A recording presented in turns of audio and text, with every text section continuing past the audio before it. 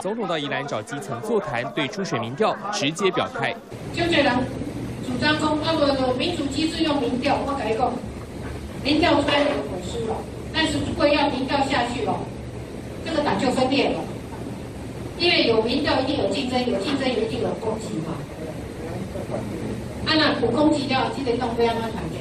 多党竞选才会啦，初选是民主的程序嘛。因赖两人为了初选针锋相对，面对国民党来势汹汹，蔡英文向赖清德喊话，寻求合作。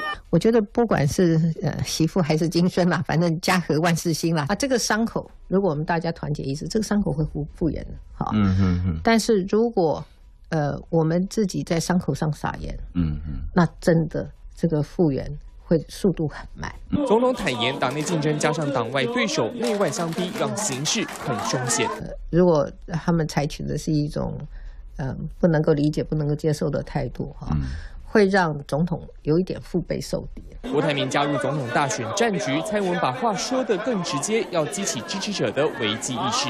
一下子韩国瑜，一下子郭台铭，立功中共没有干预这一局的不能休息。